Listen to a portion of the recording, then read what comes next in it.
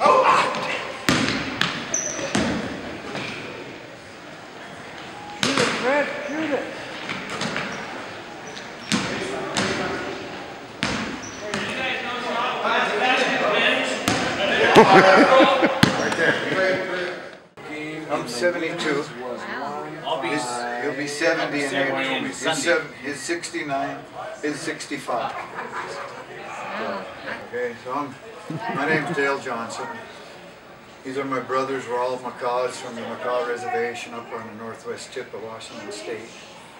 I don't know if you've heard about the whaling issue, but our tribe's the whalers that we're trying to get back, you know. So uh, we've been waiting for Bub. He just turned 65, so he's the baby of our team. Glen is 70. You know you'll be 70 in 70 April.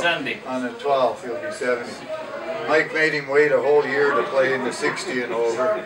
He's a week away from being 60, and that was just a long time ago. But uh, but we've played we've played together since uh, he got out of high school in '68. Uh, I had a men's team that we traveled up, mostly up into Canada. That's when there was a lot of tournaments. You know, we used to play a lot of ball. We never had any height. You know, we were all short guys. So we used to run. We used to run. It's been a long time. I've known Mike a long time now. So what brings you here? Why do you like to come here?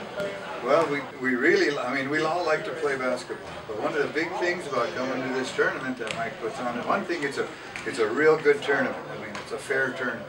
You don't get, you can't pick up guys that are too young, or you can't, you got to have Indian ID, you know, because a lot of tournaments we go to, that isn't the way it is. So we come here, we, we got a well-run tournament, and we see players we played against in the 60s. You know, I played some, I played against some of these guys in the 60s, you know. right. I think I started playing Indian tournaments in 1960. I think I was a senior. I graduated in 61, so 1960 when I first started playing tournaments. Oh yeah, we started in '75. Yeah, the tournament actually started in in uh, '75 with a 30 and over. And this is this one is the most fun of all the tournaments because, like these guys said, it's like a homecoming for all of them. This is where they meet once a year, and this is where they play against each other that they played many many years ago. And that's what's fun for them. And that's what Dale said. It's not about winning or losing. It's about who's who's going to be here and who's still around. And now, you know, as 65, we're getting more teams. Now next year, some of the the Navajo players are going to be turning 65, and they want to enter in the 65. So eventually, you- you'll see more 65 and over teams. Yeah, my name is uh, Ernie uh, Big Horn 2 reservation. Been coming to this uh, basketball tournament for probably uh, 40 years or so, thereabouts. And uh, coming here with uh, Bighorn Warriors, Bighorn Chief. But uh, the Bighorns uh, is a town in Brockton. And, and all the players that play with them are, uh, are from Brockton about 60% are from Brockton. And some are from Poplar and so forth. But most of us are bighorns.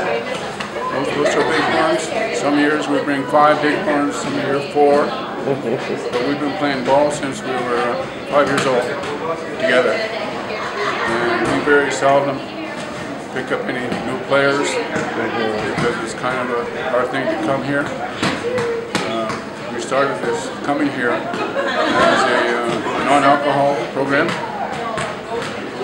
So a lot of us are working uh, people. Most of us have college degrees, and most of us are uh, retired. Some of us are ranchers. And so we kind of support each other in coming to this conference. And we come here because of the atmosphere that uh, Mike uh, provides here, uh, the leadership that's here. Uh, with that many teams coming here, it's amazing how that he can manage to put this tournament together all these years.